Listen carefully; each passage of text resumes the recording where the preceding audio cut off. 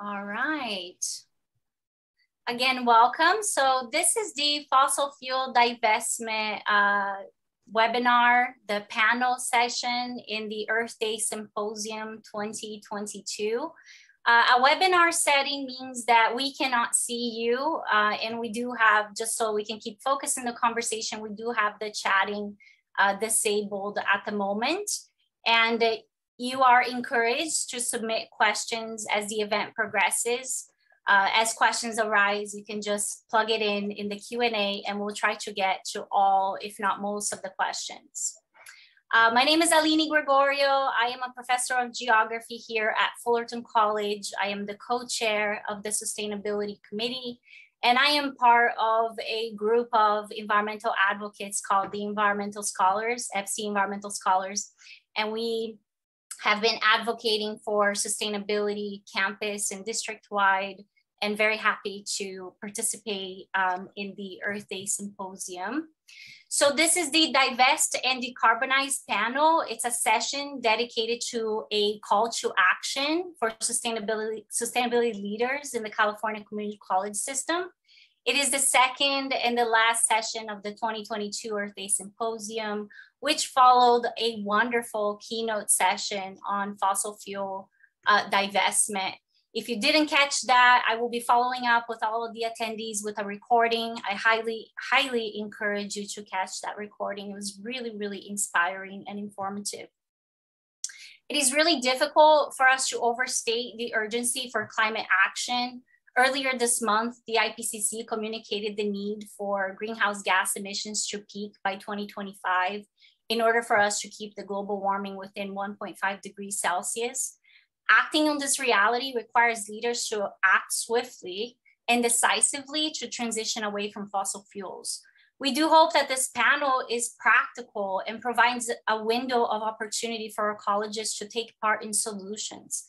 In this panel, we gather here the Southern California Divestment Networks, uh, which is composed of community college sustainability leaders uh, mobilizing for climate action and highlighting fossil fuel divestment and decarbonization as key strategies. So we have a great group of folks here. I'm going to let them self-introduce and interact with you. And we will start here uh, with Andrew. And Andrew, before you introduce yourself, let me pose an overarching question to you. I think it is wonderful if our attendees can learn from you uh, as far as, you know, what is it that the community college system can do uh, to take part in the divestment movement? What, are, what is your take about the potential for the divestment movement within our context and how can folks get involved? So I'll pass the mic to you, Andrew. Great. So do you want me to introduce myself and speak to that right now briefly? Okay. My name's Andrew Walzer. I'm um, uh, instructor, professor of humanities at Los Angeles City College, and I'm a member of a group called Fossil Free California. And we're focusing the, the organization focuses on divesting our pension funds from fossil fuels. And uh, our pensions the calstrs and calpers have millions and millions of dollars invested in fossil fuels and obviously that has enormous impact on frontline communities on our environment on climate change and uh, so our focus is divestment of our pension funds. And what we need to do is organize our colleges, work through our unions and get them to support divestment and to put pressure on the CalSTRS board. So that's one thing we can do is speak up, organize the networks we have, our unions, to take a strong stand. Uh, the um, California um, CFT, California Teachers Association has already taken a stand on uh, against fossil fuels in favor of fossil fuel divestment.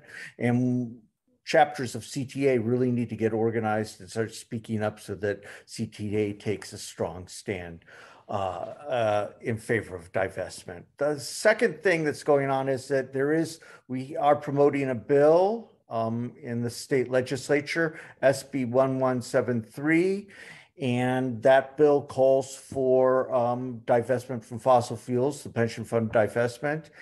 And we've been so far successful. We've gotten it through uh, two different committees, the Judiciary Committee yesterday and the Retirement Committee the week before. And we have a lot of support and we're building momentum. And so you can join in that uh, fight to promote that bill. That's all for now. And if I can extend a little bit uh, of the question, what is how how is your college taking part in this movement, Andrew? Okay, well, um, I'm at Los Angeles City College, and we're part of the um, Los Angeles Community College District, which is one of the biggest community college districts in the country. And our union, faculty union, has taken a stand in um, favor of divestment from fossil fuels, and our lobbyists are working along um, other folks to promote this bill. Um, the second thing that we're doing is we do have a sustainability, the uh, Sustainability Institute, Los Angeles Community College Sustainability Institute. And we publish a, a twice a bi-monthly newsletter and we um, have published articles on divestment um, and um, we're promoting divestment and we we're having a forum and um, on Friday um, focusing on sustainability issues and divestment. So it's about communicating with our colleagues and working together to mobilize folks, our communities to support divestment. Thank you, Andrew. And as a, as a follow-up to that, let's connect with our political scientist here, James Stone, who can tell us a little bit more about the context of the divestment movement within higher education from uh, the perspective of his college and from his perspective. So James, uh, go ahead and share. Um, well, I'm not sure if you want me to get into my presentation at this point.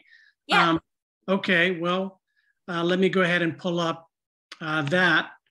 And I'll just uh, say uh, briefly by way of introduction that I'm a political scientist at Mount San Antonio College. I'm primarily a political theorist. And uh, so you might hear me uh, mention John Dewey at some point. And um, I'm also one of the uh, co-founders of the Sustainability Committee and then what uh, was founded secondarily, which was the Climate Commitment Implementation Committee and one of the uh, three, well, part of the team that worked on the climate action plan that was ratified at Mount SAC in 2018. And uh, so those committees have uh, evolved into what we now have, which is the Climate Commitment and Environmental Justice Committee, uh, so named by our beloved uh, Mika Klein, who was uh, the champion of sustainability in our facilities department. And unfortunately, she passed away um, way too early. Uh, she was only in her uh, early 50s uh, this past December. So uh, we're trying to carry on her legacy at Mount SAC because she was a great champion of sustainability. So, um, so with that introduction, let me go ahead and delve into, um, you know, basically uh, what I uh, think is the the trend that you know, or of legislation and policies in higher education that we're able to build on. And so I think everybody uh, has heard of the, uh, of the bill AB 32, Assembly Bill 32, and that's the uh, Global Warming Solutions Act of 2006. And interestingly, that was really a bipartisan bill. So at that time, Governor uh, Republican Governor Arnold Schwarzenegger signed it. He, uh, you know, uh, was a genuine champion of uh, action on climate change, unlike most of his party, and uh, a champion of sustainability. And that set a goal of cutting California greenhouse gas emissions to 1990 levels uh, by 2020. At that time, that would have been a 30% cut uh, from the levels that uh, were in effect at uh, the time the bill was passed. And then to 80% below 1990 levels by 2050. And then subsequently, the um, state Senate passed SB 350, so Senate Bill 350, and that was titled the Clean Energy and Pollution Reduction Act of 2015. And this set a, uh, three part goal. So the first part was reducing greenhouse gas emissions to 40% below 1990 levels by 2030. And so you see, really, this um, it's kind of a halfway point uh, between um, you know, getting back to 1990 levels in 2020 and getting 80% below 1990 levels by 2050, I think, you know, you can uh, see that that's uh, pretty clear. And then another uh, part of that was increasing the use of renewable energy by California utilities from 33% uh, um, to 50% by 2030, so 33% in 2020 to 50% by 2030, and increasing energy efficiency in existing buildings by 50% by 2030. And uh, so SB 350 was a, uh, a, a big bill. Um, environmentalists celebrated the passage of that uh, under Governor Jerry Brown, who signed it and uh, kind of submitted his legacy as, um, as a, an environmental governor. And uh, then uh, Senate Bill 100 was passed. And so that was basically what the name implies. It was a bill that would have required California to achieve 100% clean energy um, by 2045.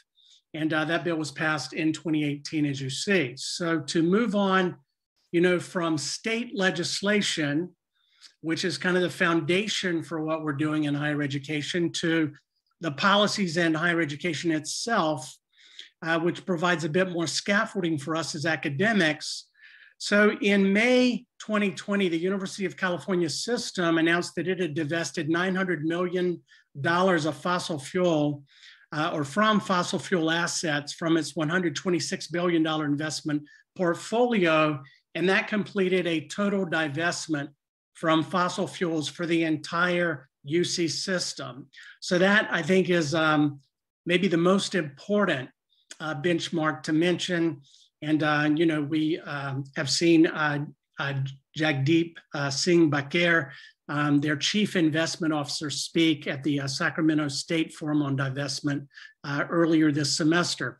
And then on October 6, 2021, the California State University system announced that it would stop investing in fossil fuels, terminating its $155 million investment in um, fossil fuels or um, its, yeah, its uh, part of uh, its uh, total fund, which is over 4 billion, uh, its investment in fossil fuels, and that included over 80 million in Chevron and Exxon holdings. And uh, I think that's important because they were kind of at the top of the list in terms of carbon dioxide emitters uh, that we saw from uh, Tom's presentation. And then with regard to the California Community College system, they have not put in place any policy regarding divestment.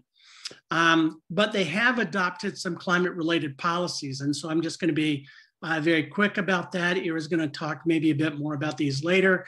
So by 2025, they've said that the um, triple C system will have reduced greenhouse gas emissions to 50% below 1990 levels. And then by 2030, it'll have reduced them by 75% below 1990 levels.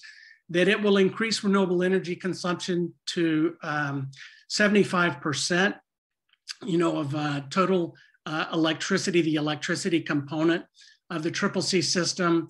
And then by 2030, increase renewable energy consumption 100%. And then in 2025, 50% of fleet vehicles are uh, zero emission vehicles. And by 2030, 100% of fleet, fleet vehicles will be zero emission vehicles. And then 50% of all new buildings and major renovations will be constructed as zero net energy. And by 2030, that'll be 100% that'll be constructed as zero net um, energy. And then um, a term that more people may be familiar with, uh, by 2025, the pledge for the Triple C system is that 50% of all new buildings and major renovations will achieve at least a leadership in energy and environmental design. That is a LEED silver or equivalent rating. And by 2030, that will be 100% that will achieve a LEED gold or equivalent ratings. So uh, note, you know, the increase in the uh, standard that they're being held to, and then increase procurement of sustainable products and services um, by 25% in 2025 and 50 in 2030, and then reduce municipal solid waste by 100% um, by 2025 and continue that in 2030. So let's move on then uh, to uh, the main point of what I'm really talking about, which is because the Triple C system doesn't have any divestment policy, the necessity for local action and lessons from the school that I teach at Mount San Antonio College. So when we um, drafted the climate action plan that's in effect now, and it was ratified in 2018. Um, so it was uh, approved unanimously by the President's Advisory Council um, in the spring semester of 2018, and then it was reported to the Board of Trustees uh, in that same semester in June. Um, it had a, an appendix, a recommendation on divestment. So basically, it said divest from fossil fuels and put an uh, ESG investment policy in, in place, an environmental and social governance policy in place. So the administration, seeing that they took no action on divestment or creating an ESG investment policy, um, this year, by this year, we saw that they hadn't done anything about that. The Climate Commitment and Environmental Justice Committee drafted and unanimously passed a divestment resolution. That resolution was subsequently introduced and unanimously passed by both the Academic Senate and associated students at Mount SAC.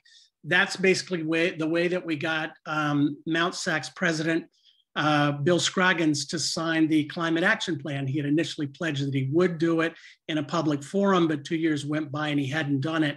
And then uh, we passed twin resolutions through the Academic Senate and associated students. And then he did uh, sign it and he sent out an email announcing that he had. So those twin resolutions passed by the Academic Senate and Associated Students were reported to the Board of Trustees. And then I uh, submitted uh, public comments supporting them from the CC and EJC. But to date, the Board of Trustees has not taken any action. Uh, this is just an image of Mount SAC's new student center, which is currently under construction. LEED gold, I believe. Um, Eera can uh, tell us Maybe uh, if I'm right about that later on, but I'm pretty sure that that is correct. Um, so uh, mentioning Eera Babtiwale, she is uh, Mount SAC's new sustainability director. It was an incredible hire on the part of the administration. We're so lucky to have her. Uh, she has taken the initiative to meet with the college's foundation director, Bill Lambert, about fossil fuel divestment and the development of an ESG investment policy in line with a recommendation in the climate action plan. And she reports that that was an encouraging initial meeting uh, with um, Bill and that he has mentioned um, inviting members of the CC and EJC to possibly make a presentation to the company that handles Mount SAC's investments. Simultaneously, uh, or I should say subsequently, uh, CC and EJC members are going to present public comments at the next Board of Trustees meetings uh, on May 11th, encouraging the Board of Trustees to implement the divestment resolutions passed by the Academic Senate and associated students. And ideally, we want one representative from the Academic Senate or speaking on behalf of the Academic Senate, one from associated students, and uh, one from the Climate Commitment and the Environmental Justice Committee, and I'm planning on speaking uh, on behalf of the E, uh, CC and EJC myself. So basically, my conclusion is um, pretty simple. Uh, it is that what has worked on, you know, on other things at Mount SAC is an inside outside strategy. So, in other words, you have people who are working in, you know, sort of a, a collegial fashion uh, with people in the administration, urging them, you know, to uh, take, um, you know, aggressive action uh, to deal with climate change. And uh, so, you know, we've seen that work in the past with the uh, passage of the Climate Action Plan, with upping the standard for new buildings built on campus from uh, LEED Silver to LEED Gold and in other areas. And uh, so we think that it will ultimately work with divestment. It's not good enough. We don't believe just to leave these conversations to take place behind closed doors. There needs to be some public component applying pressure uh, to the administration to take um, take action from the grassroots um, and from the outside. So that's the reason for the public comments of the Board of Trustees. And you know, if that doesn't work, um, my thinking is we may uh, have more public comments by more people. This is what the uh, union did, the FA, at our school when the uh, administration tried to push faculty out of Kaiser healthcare, health insurance, and into a, an inferior health plan called CISC. Um, the acronym almost uh, is too on the nose. So uh, with that um, said, let me go ahead and conclude uh, on this note. Um, I think Charles Koch you know, was um, bringing up the red herring that uh, renewable energy and green energy is a whole lot more expensive than fossil fuels. They're uneconomical forms of energy. And uh, he says, uh, in that case, if you force, um, you know, the transition to renewable energy, then the cure is worse than the disease. And uh, of course, we know uh, Charles Koch's role in funding climate disinformation, and we know, um, you know, about the link between fossil fuels and autocrats in Russia and in Saudi Arabia and other parts of the world as well. And uh, so, you know, my conclusion is this is not complicated. There's no need to, you know, overthink it because we know what's at stake here. There is no planet B. So uh, thank you. And with that, I'm going to stop my share. James, I really loved how you were able to connect, you know, the systemic and the grassroots, uh, because I often, when I discuss, uh, you know, action and climate action with my students, I always explain like the need for systemic change, right? And, and how you connected that there's policy and that policy happens through public pressure and public pressure happens through this mass mobilization that Andrew was describing, right? And how currently the, the California community college system finds in its, itself in a vacuum where the UC system has moved, the Cal State ha have moved, right? And we really need to uh, follow um, and, and catch up so that yes. we can facilitate that transition. So I really appreciate that connection. It was very clear. And actually transitions us perfectly to this history of mobilizations, right, in promoting change. So I will take this to our historian. Uh, Josh, if you can introduce yourself and uh, talk to us. Yes, good afternoon, everybody. Uh, my name is Josh Ashenmiller. I'm a professor of history at Fullerton College, one of Aline's colleagues right across the hall. And um, I'm going to be a historian by telling a story. Um, I'm going to share my screen for a second. I, I brought one visual for today. Um, and I'm going to tell you the story behind this visual, which I think everyone can see now. Um, I made it as large as I could. So hopefully you can read this. This is a plaque that is on the campus of Occidental College. Um, for those of you who don't know, Occidental College is a small liberal arts college, about 2,000 students in Northeast Los Angeles. It happens to be the uh, place where my wife teaches economics. so I've been on the campus several times. And uh, a few years ago, they put up this plaque uh, dedicated to uh, Barack Obama, who was a student there for his first two years of college. Um, famously, of course, he transferred to Columbia and graduated from uh, Columbia University, but he spent his uh, first two years at Occidental. And um, I haven't fact checked this plaque, but they say this is his first ever public political speech. He was speaking at the main administrative building plaza in the center of campus in 1981 about divestment in South Africa. And I thought that uh, this is a, a, parallel story to what we're talking about today, which is divestment in fossil fuel. Um, there are a lot of parallels. I'll stop my screen sharing now. We've all seen that. I'd be happy to email that photo to anybody who wants to have it, by the way. Um, South Africa in the 1980s was one of the leading exporters of diamonds, gold, chrome, manganese, platinum, vanadium, and vermiculite. Uh, a lot of those are important elements in making uh, steel. Uh, vermiculite's uh, very important uh, in the making of asbestos, so it's a little bit less important now. But diamonds and gold, of course, uh, made South Africa um, one of the fastest growing economies in Africa throughout the 20th century. Um, but by the 1980s, uh, glo- the global civil rights movement had put the apartheid regime in its crosshairs. And they began campaigning for a divestment in South Africa. Uh, South Africa, it was almost kind of a joke in the mid 20th century people would say, uh, what's the latest advice from Wall Street? Buy Krugerrands. Krugerrands were the, the South African currency. And it was such a fast growing economy that it was a good investment just to just to buy some South African currency and put it in your bank account because it would it would it would gain value over years because the economy was growing so fast. Um, so South Africa turned out to be uh, pretty exquisitely sensitive to global public opinion. And throughout the 1980s, because of activists on college campus, such as young Barack Obama, uh, but also thousands of other college students who were convincing their colleges and university systems to divest in the mining companies that had so much invested in South Africa. Um, South Africa became something of a pariah nation in the 1980s. Uh, they were barred from international sports competitions, um, which I think in many ways was really uh, one of the most uh, consequential moves because uh, South Africa as a country is, is a sports mad country. They, they love their rugby, they love their football. Uh, they were they were very upset about being banned from these international competitions. But the uh, the National Party, the the white minority party that had ruled South Africa since 1910, um, felt the pressure in the 1980s. And uh, it was in 1991 and 1992 when President F.W. de Klerk began meeting with the African National Congress and, and Nelson Mandela. Um, there were steps to get Mandela freed from prison. And then in 1994, of course, South Africa had its first open parliamentary election where all parties were allowed to run. Uh, and Mandela was uh, elected the president as the result of that process. Um, you know, it's one of the massive historical changes that we all lived through. I think we can all remember where we were in 1994 when that happened. Um, and it's important to note that there were 13 years elapsed between Barack Obama giving that speech in 1981 uh, you know, when the divestment move, movement was just picking up steam on college campuses across the United States and across the world. It was 13 years later that they got what they hoped for, that they got a, a real fair and, and, democratic election happening in South Africa. So we're still in the early stages, I would say, of this divestment movement.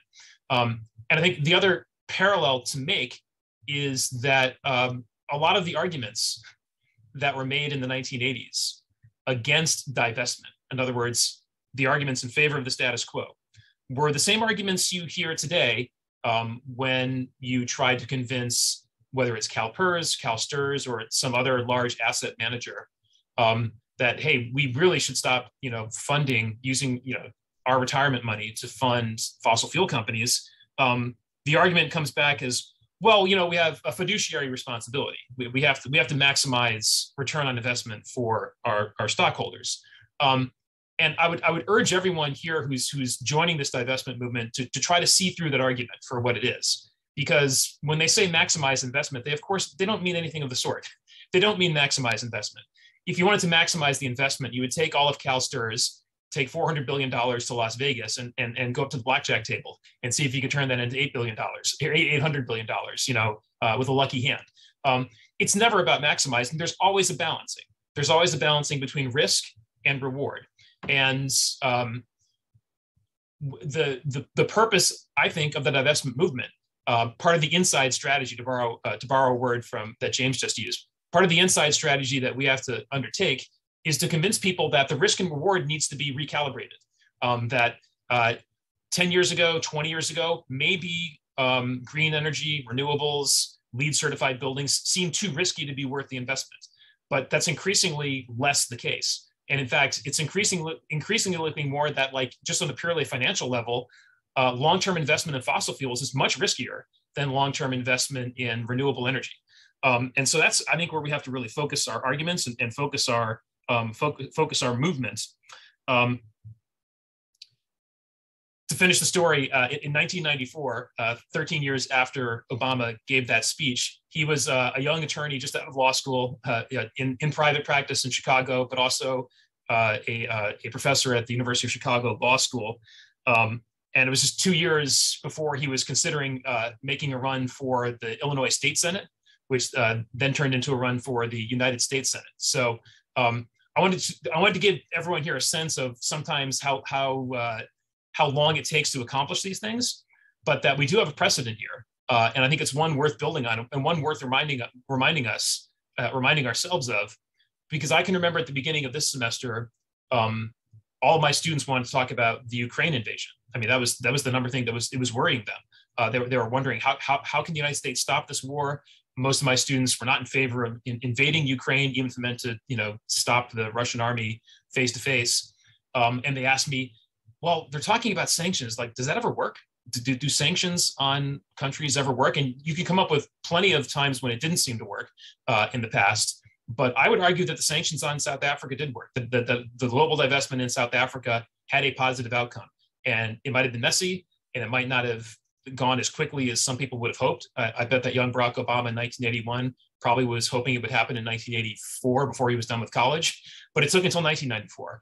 Uh, and I hope everyone is, is, is ready for a long haul, uh, but also armed with the, the, the confidence that I think I think that history is on our side on this one. And I, I think in the long run, we're going to prove that that the, the, the risks and benefits need to be totally recalibrated um, to get us to a sustainable carbon-free economy. Thank you. Thank you, Josh. And I, thought I should add that Josh is not all talk. that Josh has mobilized here at Fullerton College and helped draft a divestment resolution, which our United Faculty, uh, the faculty bargaining unit, was able to adopt and channel it forward to show that UF is on board with divestment and we do want our pension funds uh, divested. So thank you for being a sustainability leader, Josh. It's, it's awesome to see you work, uh, you know, uh, persistently in our campus for sustainability. Uh, one of the questions that we also um, often hear, uh, Josh and I and all the folks in this room have been attending a lot of divestment uh, sessions, you know, uh, mobilizing for it at the state level in the community college and our respective campuses, a multi-scale effort. Uh, and one of the things that I, I keep hearing is, you know, how can shifting funds result in you know the reduction of consumption of fossil fuels right? And this was covered in the keynote session uh, but essentially it is one strategy. And that strategy alone does not suffice and which means we have to rethink and also pair divestment with decarbonization and sometimes what we don't realize is that our colleges, you know, we're, we're talking about gathering thousands of people uh, in a single space, right, per day. Uh, certainly now that we are returning to uh, more and more in-person instruction from the two years of, of the online instruction that we just faced, uh, returning that and turning back the power of our buildings, right? Turning back our waste management. Like there's so many uh, facets of returning to full scale city size operations. And that's why sustainability planning at community colleges and universities is so extremely important. And why I'm so happy to introduce some sustainability directors that are taking part in minimizing uh, the greenhouse gas emissions in their respective campuses. So I'm going to start with you, Ferris, if you can introduce yourself and talk to us. Sure. Thank you so much for having me. Um, my name is uh, Ferris Kawar. I think everyone can see my screen now. Let me just uh, maximize it here. Does it look good? Um, I am the sustainability manager at SMC, and I'll, I'll, take you through a little bit of our history. We have a very rich history um, supporting sustainability. We've um, had a actually an environmental center, which I work out of, um, dedicated uh, over 26 years ago. And um, we've got my position actually was started over 12 years ago. And it was the very first sustainability manager across all the community college systems um, and it, it, that was significant. No one else had this. Everyone else, as many campuses uh, represented here, even just have had a you know dedicated faculty, and that's not right. We need um, people who can focus on these issues as their their whole job. Um, at the student government level, we have a student director of sustainability at our AS. Our president back in 2008 committed to being carbon neutral by 2050. We have committees that help um, support our goals and keep the ball moving forward. We have an environmental affairs committee that focuses on greening the curriculum across the board, a transportation task force that meets to find new creative ways to get more people out of their cars an energy and utilities committee that looks at decarbonizing campus, reducing our, our carbon footprint. Um, and of course, we have to have guiding documents. We have a climate action plan that was developed in 2011 after um, we're doing an environmental audit, of course. You need to get a baseline, find out where you're at, what you need to work on. And uh, you can see from our first table of contents here that the um, that they didn't just look at electricity and natural gas. They're looking at all the different ways that we impact the environment from water use, energy, transportation, waste and recycling, purchasing, hazardous material use, food vendors, student engagement, and of course, curriculum. Um, and every year since then, we have been doing environmental audits um, to gauge how well are we doing, what do we need to work on, and we report that to an organization called Second Nature, and um, it's uh, an annual report that we do. It's similar to what Tyler is going to talk about, but he's going to talk about stars, which is actually something that we want to do, and so I'm excited to hear more about what he has to say. Um, most recently, we actually had our board of trustees agree to pass a resolution that was um, offered up by the chancellor's office. And um, Professor James Stone talked in depth about these goals, but it really was nice to see the, the, our board of trustees reaffirm our commitment to sustainability and put another line in the sand and say, let's try to meet these goals. Of course, they don't come with teeth. So we, you know, this is all voluntary stuff, but we we're, we're doing pretty well in many of the areas, and I'll talk about that in the these slides here. Our green building practices have actually been um, pretty strong for quite a number of years. In our bonds, which pay for all the replacement of all the aging buildings on campus, we're coming up on 100 years, um, and a lot of our buildings are being replaced. Well, we've committed to replacing those buildings as LEED silver minimum. And we've been fortunate enough to, to achieve LEED platinum with two buildings, gold with two, and silver with two. And that matters because it's not only saving us money by reducing our utility bills and water use, um, but it's healthier places to work for our staff, for students to learn. We spend a lot of time in these buildings, and they do have a, a big impact and over a lot of time. So putting that extra money into green design really pays off. And generally, LEED buildings only cost a, a, one percent, you know, a, a three to five percent more in from the design stage than when you try to retrofit. So it's a lot cheaper to do it from the get-go, design it properly, and you'll get the maximum um, return on your investments. Um, across campus, we have a lot of great examples of um, uh, reducing our footprint from solar. We um, across all the different buildings, we have almost 800 kilowatts of uh, sun that's being collected and turned into electricity. On our gym, which is a platinum rated building, we had the brilliant idea of taking the sun, heating water in solar thermal panels, and then using that water to um, for showers in the gym. So it was a uh, really smart move there. And we've done lighting retrofit projects. We've got a central plant on the main campus, which in essence chills water. And this, the bottom right corner shows you the big plant in the basement of our building. And it it makes a big ice cube pretty much um, overnight. And then during the day, we use that cold to chill water that gets looped around campus and is used to chill all of the HVAC units instead of using CFCs, um, which are, you know, um, the, the chemicals used in um, air conditioning. And pretty much all air conditioning leaks, and those uh, chemicals are thousands of times worse at creating greenhouse gases than carbon is. So it's an important, um, and, and it's a big cost saver to us as well.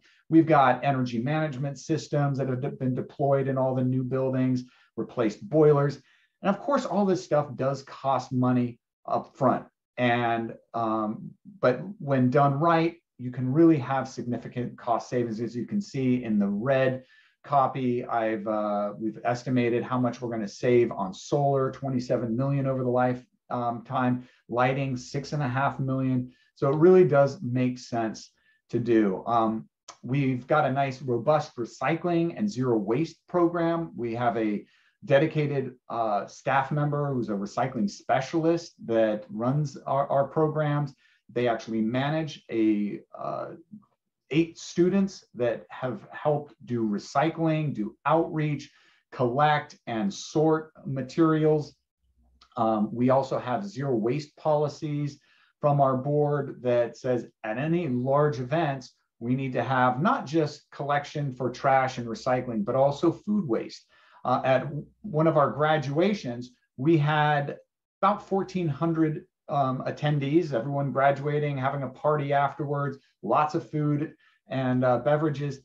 At the end of the evening, 1,400 people, we had three pounds of trash. The rest was either composted or recycled.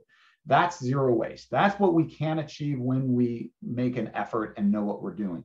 We have water refill stations in every building to reduce single use plastics. We have had a composting program that is um, been going for 20 years where we have a 16 foot bin that's uh, behind the cafeteria.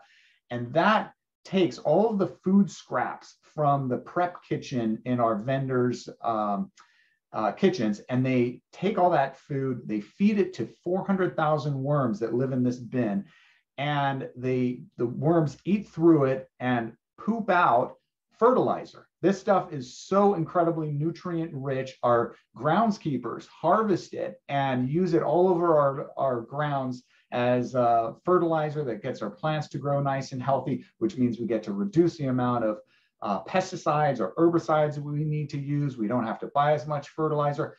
It's what it's doing is closing that loop. We're using, we're taking our waste, using it on campus for something that we would have bought anyway. So it's a beautiful system that shows um, that, you know, that's the circular economy that we need to get to.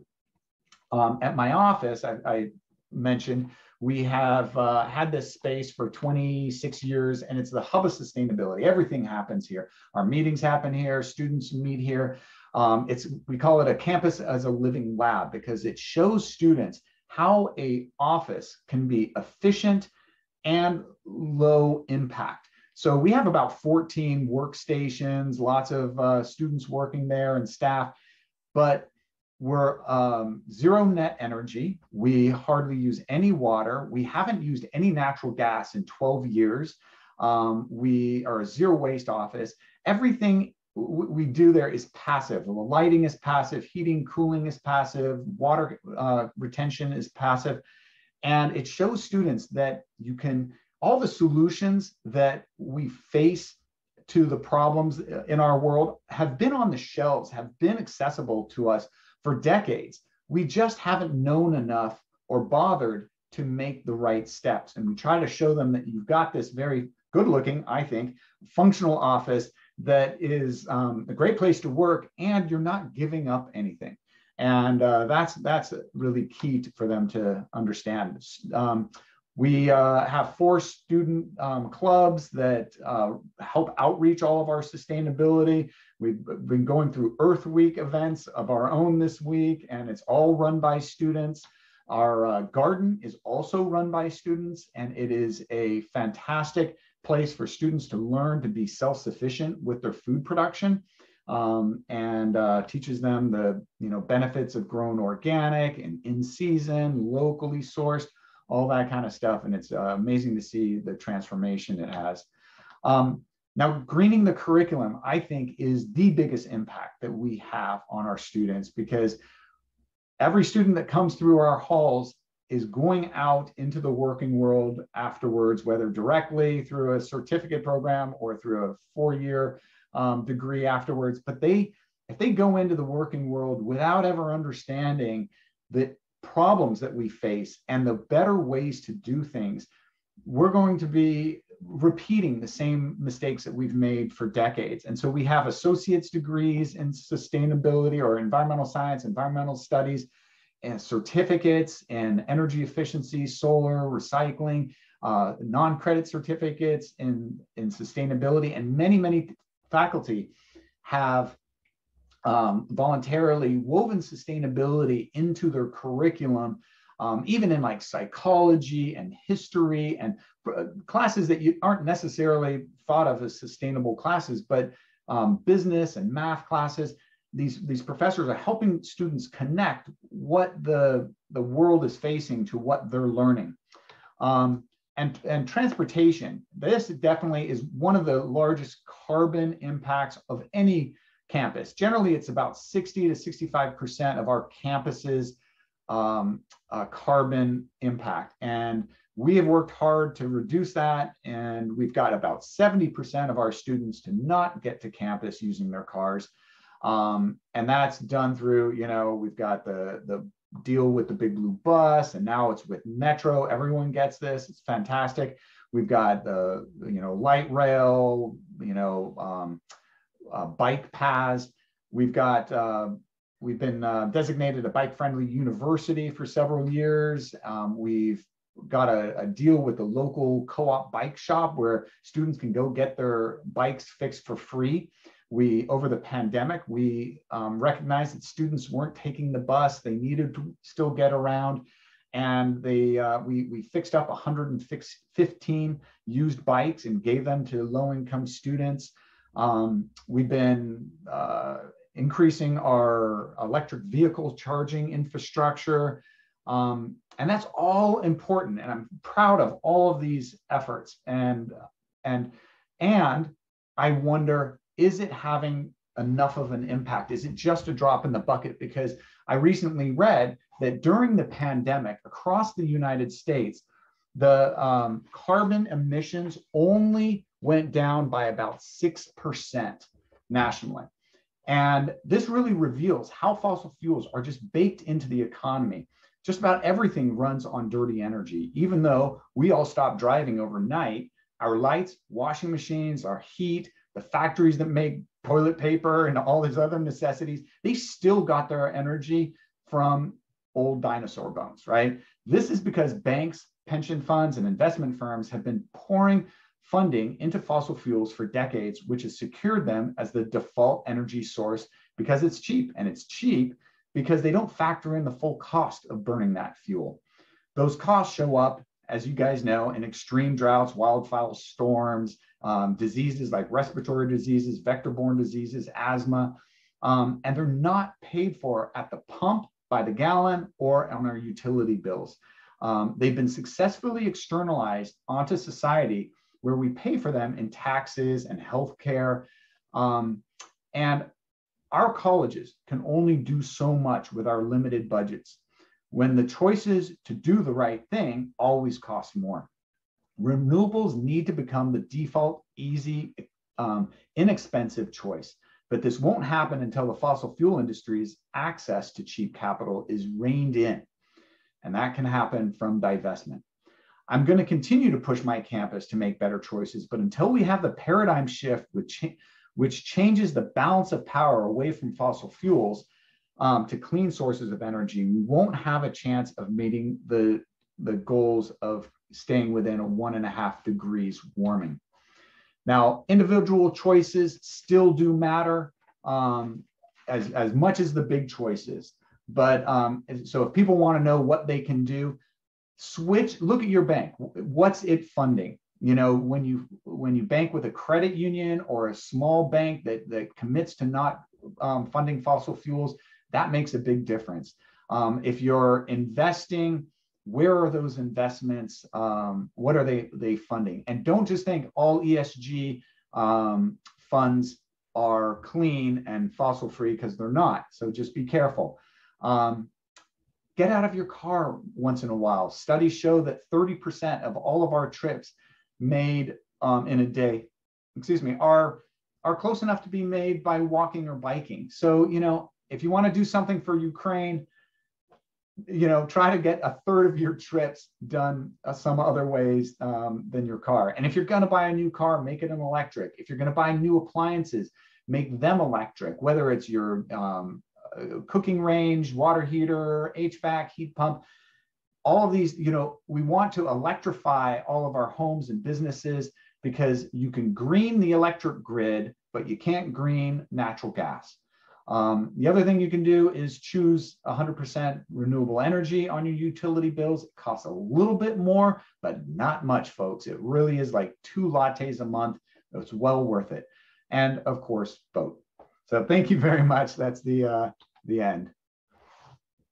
Wow, thank you so much. So inspiring. Um, I must say that uh, mobilizing here at Fullerton College for sustainability that Santa Monica and Mount SAC have been great examples. So when you ask the question, are we being impactful?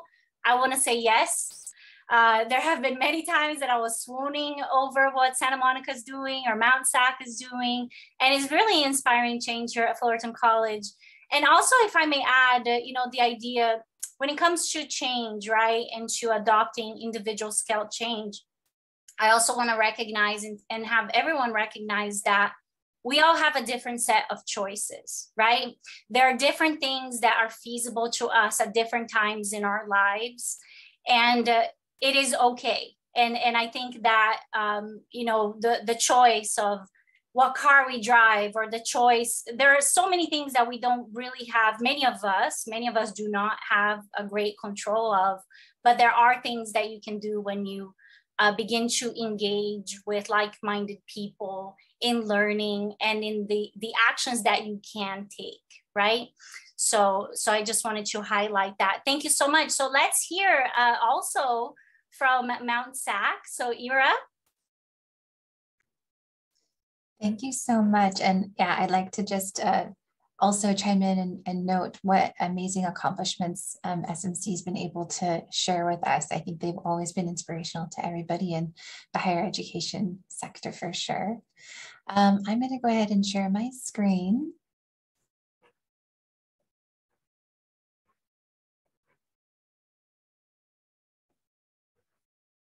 You can all see that okay?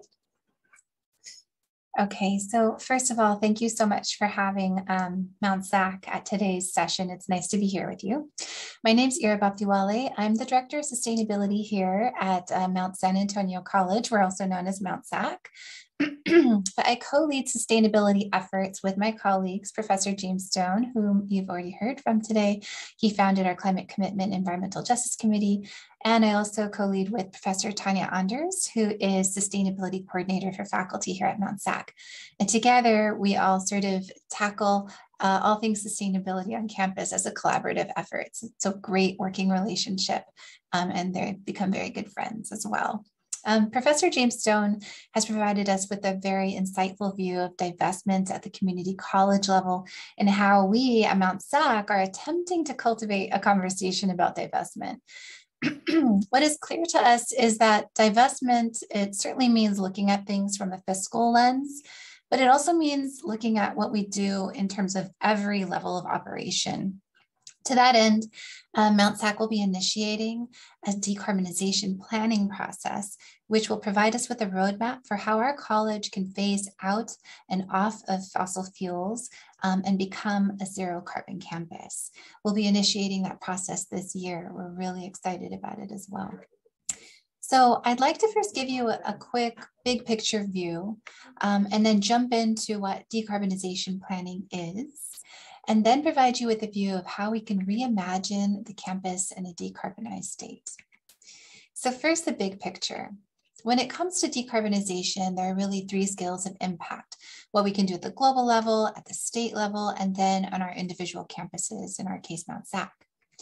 Um, at the global level, we've all become very familiar with uh, the UN's findings in their sixth report, which really calls out a code red for humanity. And they frame the challenge in terms of three main, very simplistic takeaways. One, there are 51 billion tons of greenhouse gas emissions being emitted annually. Two, we have to stay at or below 1.5 degrees Celsius, which is a very tall order nonetheless. It's an order we have to strive to achieve for it to be able to get anywhere close to it. And three, we want to get to zero tons of greenhouse gas emissions.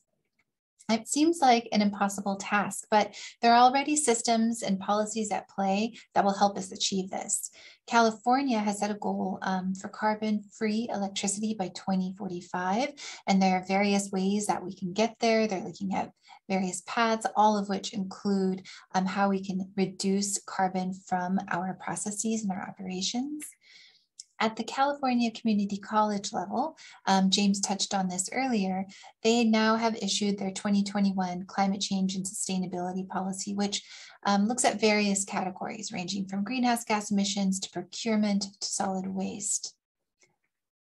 At the campus level, um, here at Mount SAC, we did our own climate action plan back in 2018, um, and it was also uh, facilitated by Second Nature. Um, we are now looking at uh, revising our climate action plan for 2023 and joining STARS in this year as well.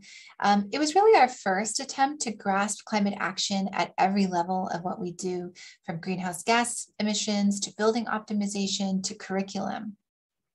But when it comes to decarbonization, it really requires us to go deeper into what drives our overall carbon footprint. Um, and that means truly understanding the composition of that carbon footprint in terms of the scopes that comprise it. So um, there are three scopes, as many of you might already know, um, but I wanted to give you just a very brief overview of it. In terms of scope one, that means any sort of direct emissions that occur as, as a result of on-site gas combustion, specifically on-site gas combustion. So hang on to that for a second. Scope two is another piece of the carbon footprint pie, and that uh, uh, means looking at indirect emissions caused by purchased electricity. And then scope three is sort of a catch-all. Um, it includes transportation, which is a biggie for us. We're a commuter campus for sure. Um, it also includes waste and any methane that is released as a result of landfill um, waste. It also looks at employee commuting. It looks at um, the end of life treatment of solid products and investments. So when we looked at our Mount SAC carbon footprint over these last few years, specifically 2018 to 2021, very interesting years, right? Of course, we saw a significant decrease in scope three emissions because of a decrease in commuting. We also saw a steady decrease in scope one and scope two emissions due to reduced energy consumption. Um, so that seems like we're on the right path and you know maybe there are some lessons learned that we can then apply toward the future. However, when you then look at the same carbon footprints over these last few years through the lens of a greenhouse gas breakdown, that carbon footprint looks pretty different you can see that uh, the majority of that bar graph is comprised of, C of carbon dioxide or CO2. Um, but another chunk of that uh, bar graph is comprised of methane. So methane, though less in quantity in this case, poses a more significant threat as it's 28 times more potent, more toxic, more powerful than CO2. And methane primarily comes from landfill waste that off gases and from combustion of gas on site on our campus from buildings by cars. So how in the world can we begin to curb our addiction to fossil fuels? And can we do this overnight? Can we cap it off tomorrow? Well, at Mount SAC, you know, it's really necessary for us to see the big picture and then phase in strategies that are most effective, that are well-funded, and that are market ready. And coming off of gas reliance means, um, you know, really looking at a phased approach. So by 2025, what we aim to do is achieve a 25% reduction in emissions. Um, first, looking at building optimization for sure, um, and then looking at how we can electrify, supplementing with renewables, upgrading our infrastructure for EVs, and looking at how we can first reduce landfill waste altogether um, by introducing zero waste strategies, and even looking at water conservation because a good deal of our energy on campus goes into pumping water around our enormous campus. By 2035, we want to have a 50% reduction in reduction in emissions. And that's really upgrading all of the phase one strategies, um, looking at renewable energy systems again, but also looking at how we can phase in battery storage systems so that we can rely less on dirty energy and the utility in general. It also means looking at reclaimed water systems um, as opposed to potable water systems, because that's our liquid gold. And again, if we're able to pump that around locally, we might be able to save a little bit more energy. And then by 2050, we want to achieve 100% reduction, again, upgrading all of the phase two strategies previously mentioned, um, and really looking at EV in infrastructure and increasing our battery storage. And that's how we can foresee achieving this carbon neutral state by 2050 for our campus. So what does that new campus look like? How can we reimagine it? What does this decarbonized state actually materialize as? Well, in terms of energy, it looks at a myriad of strategies being spread across campus from solar panels to microgrids to battery storage to um, you know, our big aspiration right now, looking at an integrated energy management system between all of our buildings that's smart and so that we can use the data and scrub it to make sure that we can find um, a reliable baseline to work from. It means looking at water strategies across our campus um, and how we can effectively pump that more efficiently, use that um, so that we can rely less on both water and energy simultaneously, both in terms of our irrigation and in terms of our potable water for our buildings. In terms of waste, it means first looking at how we can prevent waste from entering that waste stream across our campus, phasing out of plastics, relying more on reusables, um, and using on-site composting. We have a wonderful farm program. And so there are many opportunities here where you can optimize waste um, from going into the waste stream and reducing methane as a result. And transportation. So a myriad of strategies can be used here as well. Um, bike parking, um, but also EV infrastructure. Um, and we've introduced about 59 EV parking uh, stalls uh, with ChargePoint just this past year that are free to all. We're really excited about that. In addition, uh, we have an on-site transit hub that's going to be coming online for use for anybody coming to campus and really anybody coming to this area. Um, that's going to greatly decrease our overall methane emissions for sure. And you know that hope is to arrive at this living lab on our campus from energy efficient buildings such as the new Tech and Health Center that's going to go up or the new Student Center that's currently being constructed.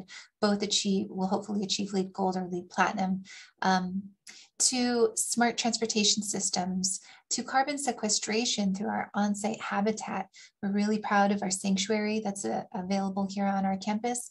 And just this year, we were able to initiate and commence our West Parcel Habitat Mitigation Project, which is basically keeping uh, a piece of land uh, for the life of the campus um, sacred and for uh, local flora, flora and fauna. And that's also going to help us sequester a good deal of carbon. In addition, we hope to become a Tree Campus USA. Uh, we are in Walnut, California, which is Tree City USA. And so becoming Tree Campus USA is not just a, a mission of ours in terms of certification, but it's an obligation that we hope to achieve so that we can help sequester carbon for our, our city as a whole. It's a commitment that we're making, um, and it's a hope that we aspire to achieve um, so that we can become independent from fossil fuels and truly be committed to a sustainable, decarbonized future. That's my share for today. Happy to take questions later. Wow, so, so inspiring. Thank you so much for sharing. And again, these are spaces that aggregate thousands of people, right? So, this is a substantial reduction in collective footprints. And it is super exciting to hear of all of these ideas. Here at Fullerton College, these efforts are new, but we do have a lot of momentum uh, our board of trustees, our chancellor, our president is very interested in sustainability. We have a sustainability committee and students are behind it and we have leadership to follow. So it's very exciting to see all of this path being set. And uh, we wanted to take a moment to talk about where Fullerton College is. And it is my pleasure to introduce our interim director of sustainability, Tyler. Tyler, tell us more. Hi, everybody. Uh, I'm first and foremost, thank you both so much for um, your presentations on your colleges. I uh, I look a lot to both of you as examples of places we could take the college. Um, this is my first experience at a community college, so getting to learn the ropes here has been a few months in the making, and kind of seeing the politics and the world of community colleges has been enlightening as somebody who's only worked in uh, private before. Uh, so like Aline said, I'm the interim director of sustainability here at Fullerton. Uh, I came from the University of La Verne previously, uh, where I was the president of their sustainability club, which probably has the best name I've ever heard of any sustainability club, uh, SEEDS, Students Engaged in Environmental Discussion and Service. Fantastic acronym. Um, and then I transitioned into a role as the campus sustainability coordinator, where I worked on the STARS program and helped greenify La Verne a little bit uh, before I moved here. So, you know, as I think a, a lot of us are aware, right? You know, the global climate crisis kind of arrives faster and faster every day. And the goals that we've set for ourselves, you know, 2025, 2030, 2050, those are no longer far away years. And, you know, they come closer every single day. And we've set these goals for net zero and uh, decarbonization down to 50%, 75%, 100% in different aspects. And I think it's daunting for uh, institutions that haven't thought about how they're going to take their college in that direction. It's, it's daunting to come up with the solutions to get there, right? And uh, I think that it leaves colleges in a state of indecision over years where, you know, we're trying to figure out a course of action, but it's not necessarily, you know, in stone. And so, you know, I think the, the biggest, most time consuming thing is uh, collecting data about where the college already is, right?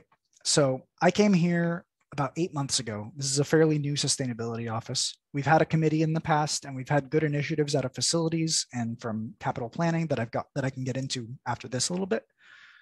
But, you know, I, when I came in here asking very, uh, you know, we, we want to install solar. We want to do, you know, remove our footprint from the uh, electric grid and, you know, generate on site and become self-sufficient well, you know, how much do we use?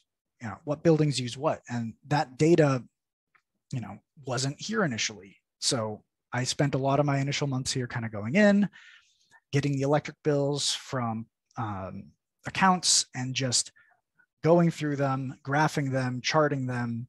Um, and I think that a really good framing for that is the STARS program, as Ferris was talking about earlier, right? So I kind of liken stars, for those unfamiliar, to kind of the building LEED system, where it's not exactly a requirement of, of any sort. It's more of a framework for which you can judge yourself against other um, campuses in terms of your sustainability efforts in the same way that your buildings are judged by a set of standards based on their how green the building is, right? And so the stars program was is our college's initial jumping off point here. We're about 90% done with an initial report to be able to come by. I'm hoping by the end of the by the end of june we should be able to submit. There's a few odds and ends to tie up still as there always are.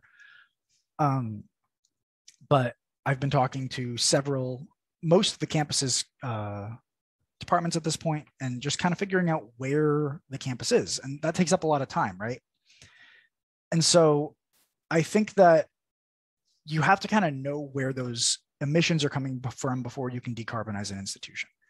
And I think that even if an institution doesn't have a climate action plan or or plans to make a sustainability department for any of you that are on here that are looking for solutions to your college that you might not have a you know a direct plan for i'd say the first step is data i think da- data has been a very core piece of my experience in sustainability.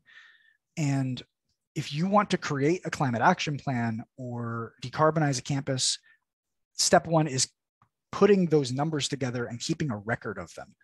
And I think that's something that all all universities can do is have their departments compartmentalize the data and keep it all up to date month by month in terms of things like trash numbers, uh, electric bills, those types of utility things, as well as kind of recording, you know, every time you have some sustainability event, an Earth Day fair, something like that, mark that down and keep records of it, what, when it was, how long it was, numbers of attendees, things like that. Every little bit of data you can put together helps because then when you do come up with a climate action plan or start trying to plan one, or bring a new sustainability manager into the university to try to do these kinds of things for you, they have a baseline to go off of. Um, it makes you know a difference in weeks, months, years of planning your initiatives, right? And so streamlining those types of things uh, is much easier with those baselines pre-established. So, you know, on top of that, when the when we start moving forward with those, with those initiatives like solar, right?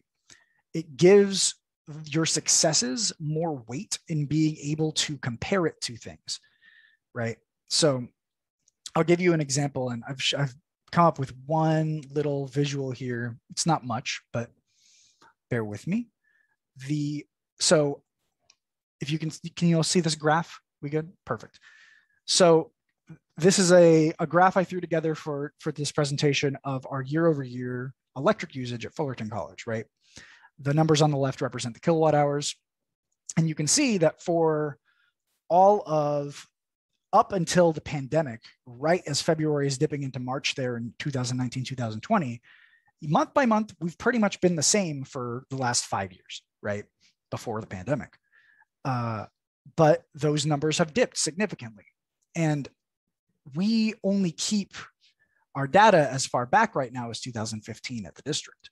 So, you know, luckily we have four years of data for me to pull from, but I don't, I've been to institutions that don't have that kind of data reliancy uh, in terms of how much they've kept, right? And so if IO had to plan a solar panel installation, to keep giving that example, uh, for Fullerton initially, if we only had the last three years of data, I wouldn't be able to come up with an idea of how much it would actually save us in real uh, before times numbers, right? Before the pandemic started, we had significantly higher numbers, as you can see here. Um, the numbers are starting to come back up, and I, with the on-campus coming out of hybrid, we're going to probably return to the same types of scenarios that we were at before. But it's one of those things where the um, I, I think that the uh, we're kind of you know we have to have those numbers for events like this in the future. You know if there's anything like this again that that affects things you want to have a solid baseline is kind of where i'm going here. So to put it in context for what we're doing about it here so like i said we're a very new program but uh, the, the North Orange County Community College District, which we are a part of, uh, recently passed a new administrative policy, 3580 for environmental sustainability, which was a huge win for us, where the district committed to sustainability goals on its own, um, within its own system, right? Which was drafted out of the STARS framework and plans to align itself with STARS' goals based on you know all four of the criteria from you know academics down to operations and all that. Uh, and it's going to help all of the colleges in the district align themselves with the goals of each other and of the stars framework. And um, you know we'll, it'll allow us to establish a presence on the stars network and give us good data collection because we're going to start to work on these goals together right? And so with the new policy in place fullerton college has started a path towards decarbonizing our campus there's been a lot of work here done already, like I mentioned before, thanks to the efforts of our sustainability committee and the dedicated facilities department here. Uh, we have water bottle refill stations in many of our buildings. We have LED lighting in 80% of campus already before I even got here. So the facilities department has been killing it. Um, vending machine occupancy sensors turn everything off automatically when there's people not nearby the newest building that we just built, the new academic building 2400, was built with green construction principles, even if it's not LEED certified. And we have 15 EV or 50 EV charging ports on campus uh, on our west campus uh, parking structure, which is fantastic. Moving forward from here, we're currently working on submetering the main campus uh, on facilities aside, which will let us break down our data a little bit more on our buildings. As at the moment, we have probably 70% of main campus on a single meter. So it's hard to break down individual buildings and come up with, you know, if I'm going to do a project in this building, how much is it going to save us? Because those numbers are harder to contextualize when everything's aggregated. Um, but, you know, like I said, we have not had students using the campus during the COVID 19 pandemic. So the data usage over the last two and a half years has been pretty skewed and predicting savings for future projects is difficult without relying on three-year-old data. So, you know, with the submetering initiative, we hope to move past into that post-remote work world with better information than we had before it. Um, I see the pandemic as an opportunity for us to take our campus's low usage throughout it and try to figure out methods in which to maintain it coming out of that remote world where we can see where that excess load has gone and see where opportunities could be for change based on parts of the campus that didn't get much use, even as we start bringing students back in. Um, to start this process also, we've, uh, I just recently completed an energy savings opportunity audit with the utilities companies, which gave us several dozen opportunity projects um, with I, you know, ideas on where to save money here and there, uh, including our HVAC as well as boiler things and um, just overall good ideas and opportunities, which we're moving forward with right now with the facilities department. we have a solar feasibility study that we just completed, and it looks very positive from what I can tell so far. We're bringing that forward this week, in fact, on Friday to see how we want to approach based on the numbers a solar installation potentially on campus to help you know combat that grid reliance and become more self-sufficient. Um, but like i said the any of these goals the the first start the first step to all of this is collecting data. And you know we plan to integrate these data collection practices into every part of our sustainability process not just from a sustainability office perspective but from the entire campus I believe that sustainability works best when sustainability and data collection hand in hand both work best when you integrate those into as many parts of campus as possible that have their say in those things, um, whether that be in academics or events or purchasing. You want though you want everybody to be involved in the process. Too many times I've seen the sustainability office at campuses kind of be alienated into its own thing. Oh, they're going to do the work um, but it's really a grassroots work. It's it's grassroots. It, you need the whole community to come together on it and kind of work work forward and move the campus forward as a community. Um, I, I think Fullerton College has the heart and the mind based on the people that I've met here to really become its environmental leader moving forward into the future. And I really can't wait to see what we can achieve in the years to come. And I'll be looking forward to uh, continuing to rely on the rest of you for examples of where to go from here. So appreciate it. Thank you, Tyler. I believe that too. And I must say that while it is like painstaking work, because a lot of the times when you start a you know a sustainability committee and you begin doing sustainability work, you have lots of folks like, "Where's my recycling bins?" You know, and and it's so much harder to start with. Okay, first we need a policy, we need a framework, we need to uh, you know have a commitment uh, to the sustainability principles that are defined national, nationally by the STARS framework that Tyler kept mentioning, and hold ourselves accountable to that. Then start the data collection process to say where we are in comparison to how sustainability is defined, right? So it's it it is a lot. We we the sustainability committee has um, done a lot of work and spent its three years. It has been three years since we started this work in laying this foundation. And now in that, you know, we're in the data collection process with Tyler and really looking forward to making some strong commitments. Um, but we are, we're running out of time here. So I have a proposal for the panel and the proposal is if there is a question here, uh, we answered mo most of the questions in the chat, but if there's a question here, um, I would love to see, uh, you know, you just raise your hand and pick a question that you're really passionate about answering.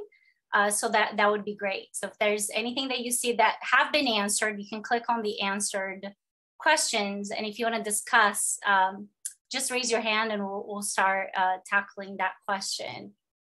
Uh, and I also, while you scan these questions, I really want to thank our um, district leaders for attending the Earth Day Symposium. I see that Many of you attended the keynote session and attended this session. And I believe that that is the foundation of progress is to have open conversations, to learn about what others have done, to learn about success stories, right? So that we can get behind on good ideas together. So I really, really appreciate all of the students, you know, the, the the leaders that we have in administration at the district level, it, it is so important that you're tuning in. So I, I know all of us are appreciative of that. Um,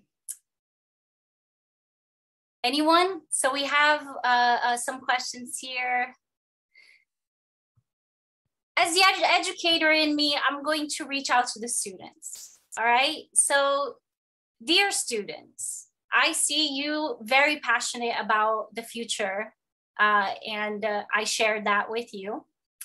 And I know that a lot of you want to get involved and you want to make change and you do not want to see these dire, you know, there's like so much climate anxiety, right? We do not want to see uh, our future materialize in the way that those scientists' reports are continuously reaffirming.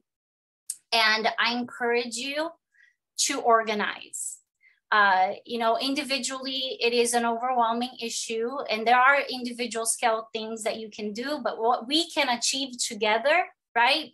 like uh, what Andrew was talking about, uh, joining with uh, Fossil Free California, showing up at the right time when bills are being discussed, delivering a public comment, those things really do make a difference. And I encourage you I'm a Rage Against the Machine fan. Anyone else out there? Uh, and one of the things they said is, uh, "Don't turn away, get in front of it." There's a song that says that, and I truly believe that. I believe that sometimes things get tough and makes you want to turn away, but we do need to get in front of it and take charge of our future. And I encourage you to get involved with associated students.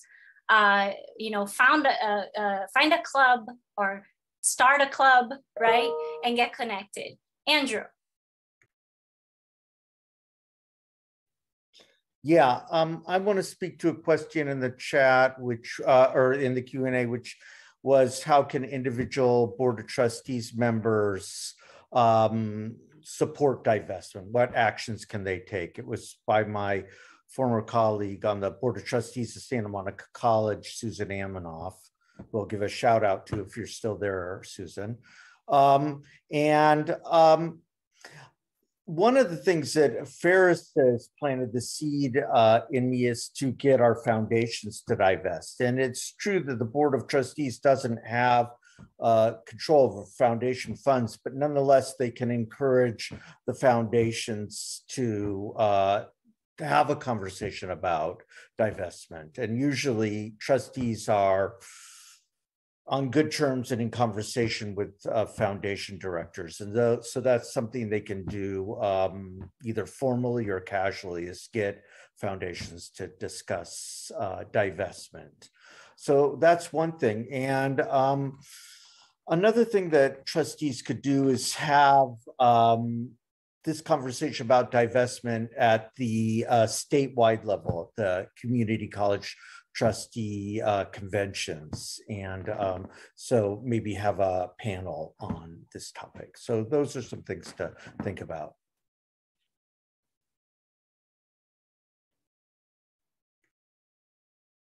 Eera? Yeah, um, I wanted to also uh, chime in regarding one of the questions from Nicholas, which was, what's the best way of getting the public involved in the processes? Um, regarding climate change and climate action. And here at Mount SAC, you know, we have an amazing um, student-led environmental group. They're known as EAGLE, um, and that stands for Environmental Action Group for a Livable Earth.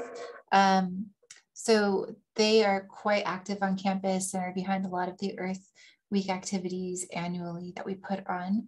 Uh, we also have a lot of opportunities uh, within committee, committees on campus. So for example, within the Climate Justice Environmental um, Climate Commitment Environmental Justice Committee. We have an environmental senator. We have uh, three members from EAGLE. Um, so student voices are, are very much heard. Um, and it's very uh, faculty heavy as well. So um, it's a very collaborative, um, conversational um, committee, but we still get things done um, and we have all voices heard. We also have the Landscape Advisory Task Force. Um, a student will be joining that uh, committee. We have the Tree Campus USA subcommittee. Um, the same student will be joining that effort. Um, I just think there's just so many opportunities on campus for people to get involved and be heard and make a positive impact in their own on their own campus. It's not always obvious, however. And so becoming more positive um, proactive rather in the conversation, asking how you can get involved, attending student senate meetings, talking to your professors, going to board meetings and doing public comment. I think becoming a very active citizen on campus is absolutely crucial to be not just involved in the conversation, but leading that conversation as well. And you have a follow-up question from our trustee, Aaron LaCordy. And uh, the question is, we're struggling here at Fullerton College with student engagement. Um, how, how have you been able, what are some of the strategies that you've been able to utilize at Mount SAC to keep students uh, engaged? Well, I would say, I mean, I'll certainly provide some examples. I think Santa Monica has a um, ton more examples than me in terms of student engagement because I think that is what has been sort of uh, that critical mass that SMC has is so um, is such a model for everybody. At Mount SAC, uh, again, that you know that environmental group on campus is probably one of the most active ones out of all the clubs that we have on campus. Um, I am lucky in that I get to engage uh, across campus. And so I try to have conversations and have open dialogue with students whenever I have the opportunity. Um, having a strong connection to marketing is key. Um, we haven't found the very best way of communicating. I think we're just trying all the ways of communicating right now and getting the word out. So in my mind, nothing really beats in person. Um, so having in person events is al always really great in a very high traffic area. Um, marketing out on our kiosk, on our social media platforms, on our website, having a strong sustainability website, um, and then um, really soliciting the efforts of students to help you promote an event is really key as well. Um, I'm curious to see what else Ferris has to share though. Oh gosh, um, you know, I, I, agree with so much of you said, and I think um, I would add that going and doing class presentations, um, really, you know, getting invited in to talk to students and being able to show visually what what your campus is doing or what you want to be doing, um, and trying to recruit students in. I mean, really, our students are so impactful. Um, I always tell them that they have more power than I do. Uh, you know, when I speak to administration or to facilities, to other departments, it's like, you know, wah, wah, wah, wah. There's Ferris again talking about something that's going to, you know, uh, cause me, you know, time and effort. But when a student comes with a good idea, they, they want to um, see something done on campus, everyone wants to see them succeed. They want to see them at least try something, even if they fail, because that's what they're there to do and, and learn. And so we've seen so many student-led initiatives become, um, you know, a, a, a, garden, the compost bin. Um, you know, so many of these things started with students saying, this is what we want. And um, they're still around uh, decades later. So um, I always tell students, yeah, don't discount your power to influence change on the campus. And so that means, you know, getting organized, having a student club. You need um, you need advisors for that club. You have to find the right person, um, but also getting students involved um, and get them to go to the different meetings that happen on campus, like your um, you know, facilities planning meetings and, you know, all the, um, you know, the, the meetings where you're deciding what new vendor to have on campus, because then you can really help influence and ask those questions like, you know, do we really want to bring a fast food restaurant onto campus? Or do we want something that's healthy and offers vegan and vegetarian options? You know, things like that that um, a lot of uh, people just aren't thinking of um, you know, it's been a struggle last couple of years um, getting um, people back. We're, we're, having to rebuild all of our clubs from the ground up. And but uh, but yeah, so marketing super important. Always hire if you've got budget for one person. It's for me, it's a student who can um, do graphic design. I think James has a question or something to comment. I was just gonna I was going to echo uh, everything that you and Eera said, but try to frame it a little bit theoretically in that um, I think, like uh, John Dewey observed, if you just confine democracy to voting and representative democracy in the political sphere and every other sphere of people's lives, you know, where they go to work and uh, when they go to school, is basically that it's structured in a very hierarchical model where there's, uh, you know, uh, somebody who's the boss and you know uh, is deciding is making all the uh, important decisions the, the decisions that have real impact and they don't really have a role in that then you have a very hollow democracy. And we have to especially in this age where there's the threat of authoritarianism that seems to be on the march globally we have to really start to take democracy seriously and reinvent it and make the connection between sustainability and democracy real for people. And, uh, you know, uh, that goes along with, you know, this idea of hands-on learning. you know, we're, we have to face the fact as academics that it may be that the pandemic has caused somewhat of a permanent shift to Zoom in the online world and to, and to attract students back into the classroom, we're going to have to reinvent education um, more than we have so far. I think acad- academia has not been asleep. There have been people who have been thinking about hands-on learning, project-based learning. Um, but you know, I never see students more impassioned than when they have an opportunity to go visit Ferris's school. He's you know conducted sustainability tours for many of my environmental politics classes, or maybe go visit a real example of mixed use development to see what that looks like in practice and not just learn about it from a textbook. You know, if you're just going to teach in PowerPoint slides and lectures, why would anybody come back to the classroom?